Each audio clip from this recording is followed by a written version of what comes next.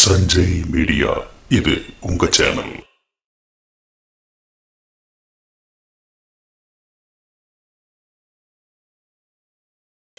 Do you feel the vibes?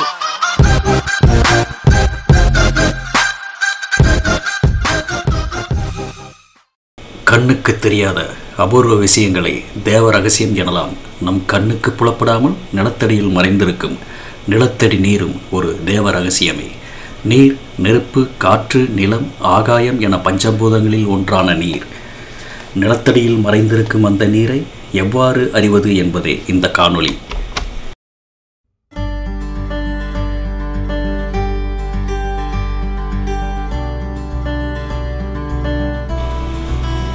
நாம் போர் போட விரும்பும் நிலத்தில் முதலில் நிபுணர்கள் அனைத்து பகுதிகளிலும் நடந்து முதலில் நீரோட்டம் எங்கெங்கு உள்ளது என அறிகிறார்கள்.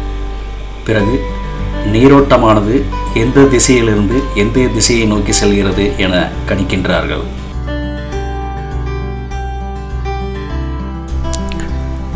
காளி மலை முழுதும் நிபுணர்கள் நடந்து நீரோட்டம் எங்கெங்கு உள்ளது என்பதை அறிகின்றனர்.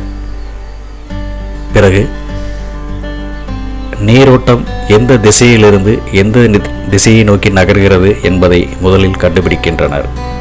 பிறகு அதிக நீரோட்டம் உள்ள பாயிண்டை தேர்வு செய்கின்றனர். அந்த பாயிண்டில் எவ்வளவு நீரூற்றுக்கள் உள்ளன? எவ்வளவு ஆழத்தில் நீர் உள்ளது? அதில் எவ்வளவு நீர் கிடைக்கும் போன்ற விவரங்களை கையில் உள்ள குச்சி சுழலும் முறையை வைத்து அறிகின்றனர். பெரும்பாலும் காலி இடங்களில் நடக்கும்போது குச்சிகள் சுழல்வதில்லை. நீரூற்றுக்கள் பார்ப்பதற்கு தேங்காய் பெண்டூலம் தண்ணீர் குடம் காப்பர் கம்பிகள் போன்ற ஏராளமான முறைகள் உள்ளன. நிபுணர்கள் இவற்றில் ஏதாவது ஒன்றை தேர்வு செய்து நீரோட்டத்தை கண்டுபிடிக்கின்றனர். நிபுணர்கள் உடலில் உள்ள காந்த சக்தியானது நீரோட்டம் உள்ள பகுதியில் அவர்கள் கால்படும்போது அவர்கள் கையில் உள்ள குச்சியோ அல்லது தேங்காயோ சுழல்கிறது.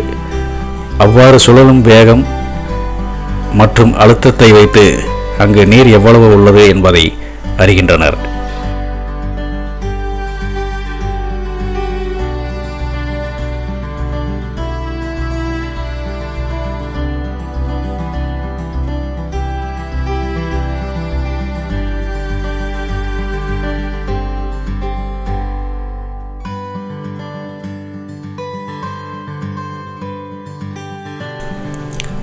அதிக தேடலுக்கு பிறகு அதிக நீரூற்றுள்ள போர் பாயிண்ட் கணிக்கப்படுகின்றது.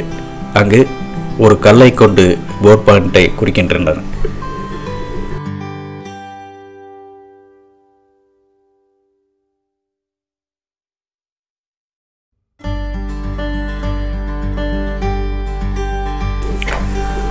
தான் குறித்த பாயிண்டானது சரியானதா என்பதை அறிய அந்த பாயிண்டை சுற்றிலும் நகர்கின்றனர். சரியானது என உறுதி செய்த பின் அந்த பாயிண்டை தேர்வு செய்கின்றனர்.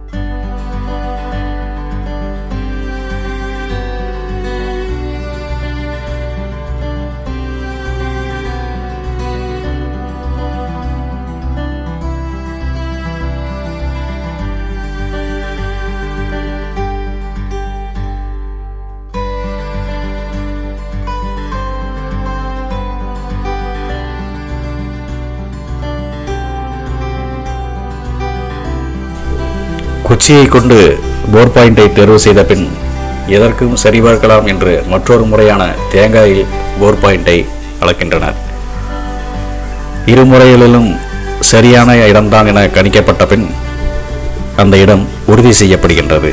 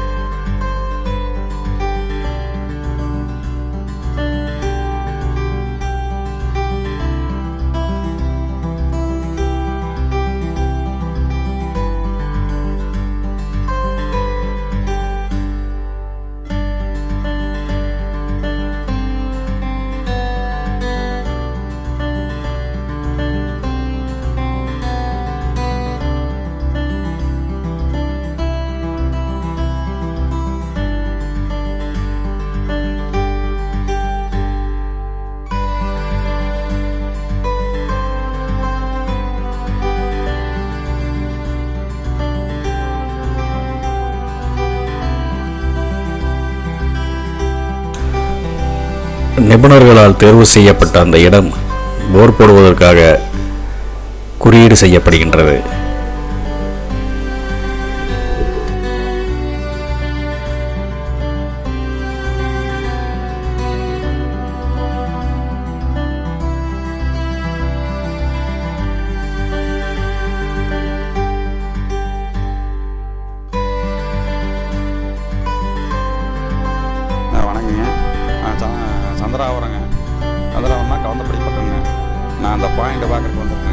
வீட்டுக்கு தண்ணி தேவை தேவையான தண்ணி பார்த்து சலம் சொல்கிறக்கு வந்திருக்கிறேங்க அந்த அந்த இடத்துல தாங்க சலமே உண்டுனா இருக்குது. வேறு பக்கமெல்லாம் வச்சா கம்மியாக இருக்குது. சரிங்களா? எல்லாம் பார்த்தோம்னா அதெல்லாம் ஒன்றும் சரியா சரியானதாக தெரியல. அதுதான் பரவாயில்லையா தெரிஞ்சது. அது ஏதாவது வீட்டுக்குள்ளே வருமாட்டிருக்குது ஏதோ கொஞ்சம் அட்ஜஸ்ட் பண்ணி கட்டிக்குங்க. அவ்வளோதான் அது ஒரு ஆறுநூறு அடியில் தண்ணி வந்துடும்ண்ணா ஆறுநூறு அடி. நிறையா தண்ணி வரும்ண்ணா.